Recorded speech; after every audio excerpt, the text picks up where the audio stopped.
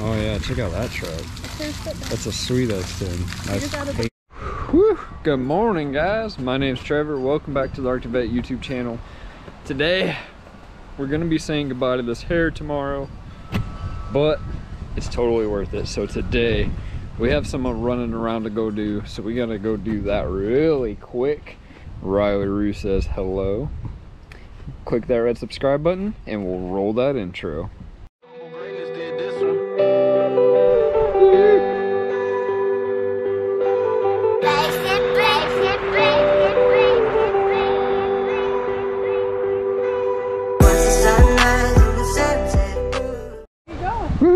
We go. We got ours. Well, we got Riley. Riley a new dresser. So now we gotta wiggle it into the house. Right there. Cone's got a good idea here. He's just coloring his pumpkins. Did you get one from school today? Yes. You did. Ooh, and what are you gonna do with it? Um, we will. Um, we'll wire make a face. You're gonna make a face, a jack-o'-lantern? No, No? like a Terry one. Yeah, jack-o'-lantern. Yeah, like this one. But cut it out. No, we're not done. Oh, you're just gonna color it? No, we're not done. it. Oh, you're not coloring it? We just like um, we will like cut it open. Oh. I started cut it open. Okay. Um, Okay. Um, uh, uh, um, um, we will, pumpkin. we will, Rock you. uh, we will, um, Well, we eventually are going we to will carve. make a face like, I, I will make a circle, then another circle, then a, little dot for the nose. Yeah. and uh, um, a mile face like like this like um Like that. Hmm. no like this So, eventually, we will be carving our pumpkins here that we got at home that are big enough to carve, of course, because some of these smaller ones, well, I don't think we can like carve those. this like Don't color on the. No, no, no, no, No, no, don't. All right. Well, it's a little windy outside, so we had to move it inside. Anyways, um, I want to give you guys a little update. Uh, Friday we didn't have a video. Saturday we didn't have a video. Sunday I actually recorded a video, but I forgot that I corrupted. The file was corrupt for chap for chapter seven in Genesis, so I read chapter eight. So I didn't want to publish chapter eight without having chapter seven. That way we still have the follow you guys that are following along with the Bible study, the Bible reading. Um, we're ended in Genesis 6, and so I got to go back and I got to read chapter 7 again, make a video for you guys, and then upload that, publish it, and then number 8 can go. Because I, I don't want it to be out of order. So I thought that'd be a little weird if it was, so I, I held off on publishing that Sunday. And then yesterday we had our pumpkin patch video. And if you guys haven't seen it, definitely go check it out. I know there's a it's 20 minutes, it's a long video, but there's a ton of fun stuff in it. And if you get a chance to go there, definitely go there and have a blast.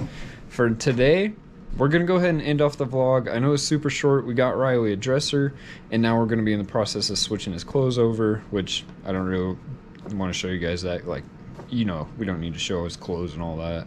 Switching over, plus all the stuff on top of his dresser. That's where the fun begins. So we're gonna end off by reading our day by day devotions for dads, and today is join, rejoice, provide. Keep your eyes wide open before marriage, half shut afterwards. Benjamin Franklin. We should not be so naive to think there is only one way to build a family. According to the 2010 U.S. Census, 69% of children live under one roof with both parents. Almost 23% live with their mother only. 12% divorced or separated. 1% widowed. 10% never married. About 3.5% live with their father only. That was me. Except, like, this past few years. exactly 4% live with neither of their parents. In every category, many of the kids are doing great. In every category, some are not. We all know parents who are getting the job done for their kids despite tragic or difficult situations. Still, shouldn't we do everything possible to give our kids the best chance to succeed in life emotionally, physically, academically, socially, and spiritually? Statistics are readily available and are not surprising, but here are just a few. Children of divorced are twice as likely to drop out of school or commit suicide. Mm.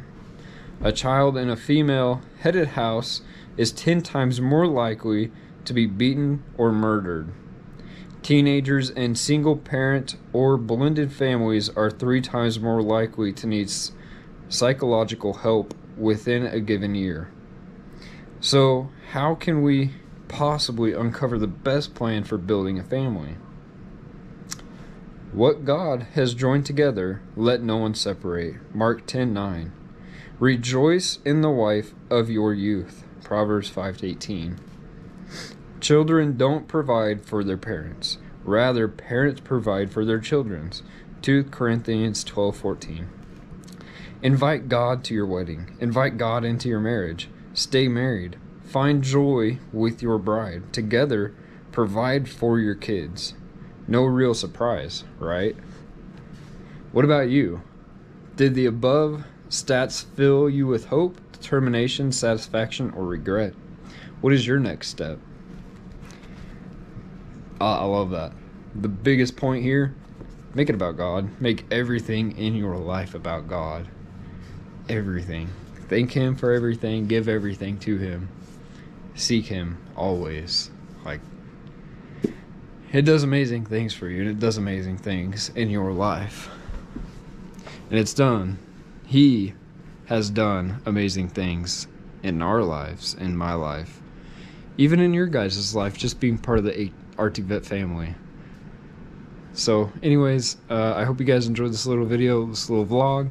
And if you did, you know what to do. Smash that thumbs up. Don't forget to click the red subscribe button. Ring the bell so you're notified when we have an upload. And we will see you tomorrow in another video. Have a great night and God bless. Avy's getting some parts soon.